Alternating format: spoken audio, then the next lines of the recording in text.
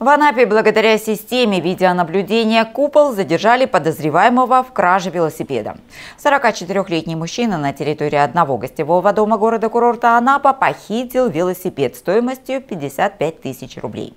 В полицию по факту хищения велосипеда обратилась местная жительница. Благодаря полученным изображениям злоумышленника правоохранители с помощью системы видеонаблюдения «Купол» установили местонахождение подозреваемого, который был доставлен в отдел полиции – для дальнейшего разбирательства. Злоумышленник рассказал об обстоятельствах совершения им кражи велосипеда, а также о том, что похищенное ему удалось продать в районе центрального рынка неизвестному.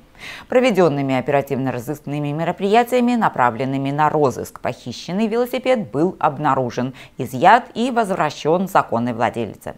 Подозреваемым оказался 44-летний, ранее неоднократно судимый за совершение имущественных преступлений мужчина, не имеющий регистрации на территории Российской Федерации.